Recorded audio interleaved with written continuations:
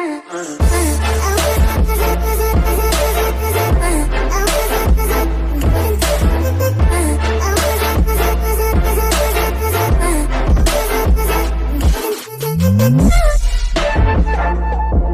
what's up, buddy? How are you today? I hope you are doing well. So then it in the comments. And today I'm back with another interesting part of uh, Izuku's secret girlfriend. And uh, if you haven't watched the first part, then you can check out our channel for the first part. And I will provide the link in the description. So let's get started with the video. Make sure to like the video and subscribe to the channel. Press the bell icon for the latest notification. Till then, take care. Bye bye, and see you guys in the next video.